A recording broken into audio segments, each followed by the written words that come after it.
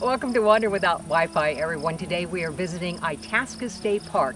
This is the oldest state park in Minnesota. It is also the headwaters of the mighty Mississippi River. So let's go check it out.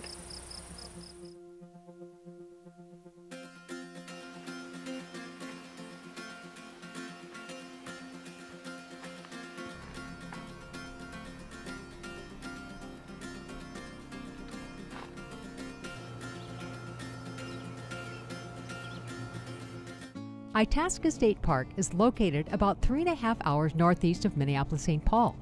Due to COVID 19, there has been a rollout of reopening the facilities.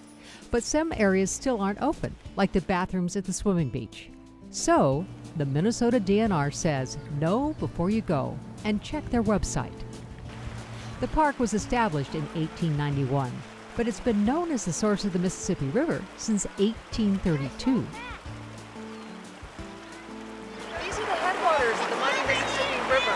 Flow from here all the way down to the Gulf of Mexico. A lot of people try to cross here, but it's very shallow. So you come to Itasca State Park, check this out.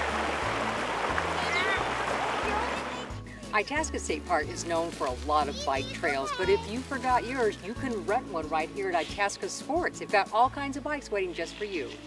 Park Ranger Liberty Weiss is an ambassador of the park, so I asked her what her favorite part was. Oh man, I love coming here and going kayaking. If you need a kayak or other types of watercraft, Itasca Sports rents those too. And Ranger Weiss loves to hike. Uh, the Dr. Roberts Trail is one of my favorites in the fall. Get out there and explore and check out the wildflowers.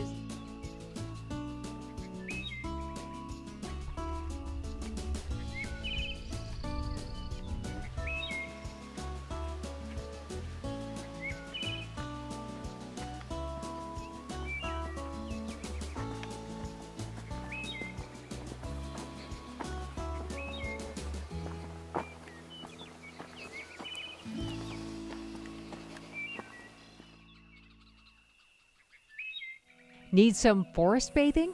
We'll soak in the sights, smells, and sounds at Preacher's Grove, named after a gathering of preachers 150 years ago.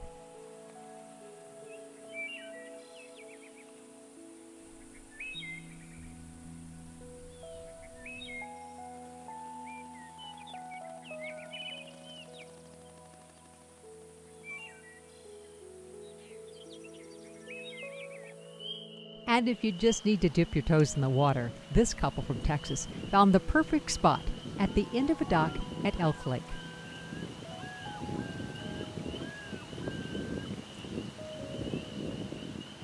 Whatever nature views you need, head up to Itasca State Park.